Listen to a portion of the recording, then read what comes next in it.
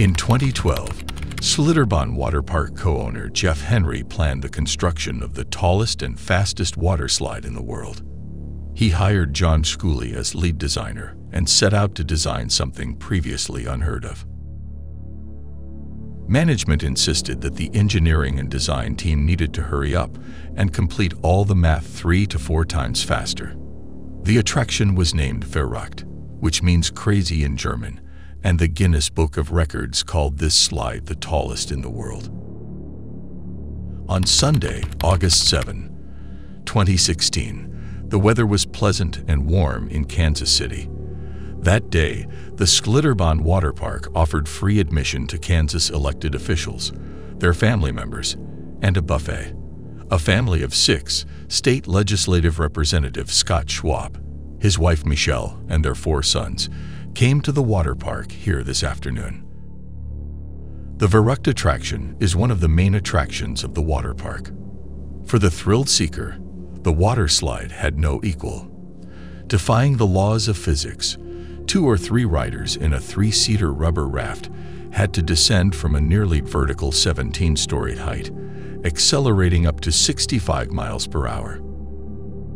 According to the attraction's rules, riders must be at least 54 inches tall, and the total weight of the group per board must be between 400 and 550 pounds. 10-year-old Caleb, who was the second oldest child, told his parents that he really wanted to ride the water slide. The boy's height was 59 inches, which corresponded to his admission to the attraction. At 1430, Caleb, having climbed 264 steps, reached the top of the platform. The boy saw the cityscape spread out before he stepped into the front of the raft. The operator secured Caleb to the seat with a Velcro strap. Behind the boys, next to the raft, sat two sisters, 32 and 25 years old. The operator launched the attraction, the gates swung open, and the conveyor belt under the raft began to move.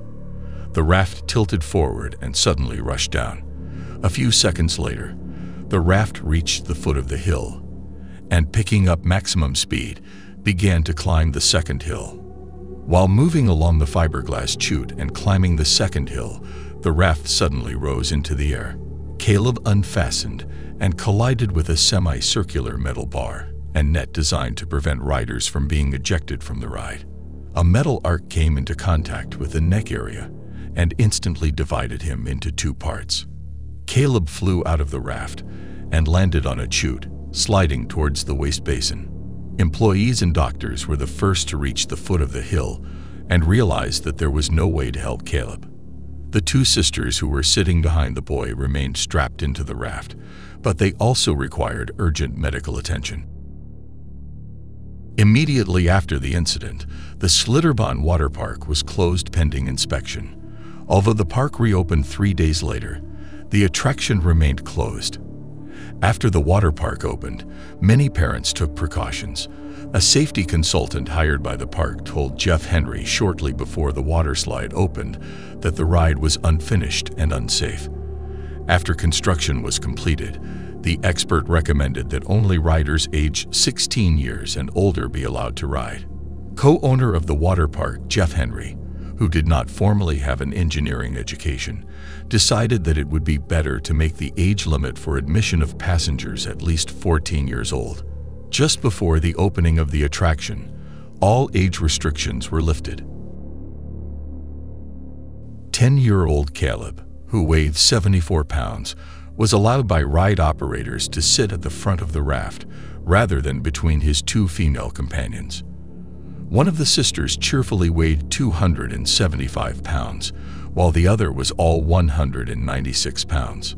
According to some experts, the uneven distribution of the weight of the riders contributed to the fact that the front of the raft rose into the air. Engineers who inspected the ride also noted that mesh covers the chute in areas where riders reach high speeds. This carried some risk because a rider moving at high speed could easily lose a limb if he flew out and came into contact with a metal structure. Concerns about the ride's safety had long predated the incident, and former employees said both the ride's inspections and staff training were inadequate.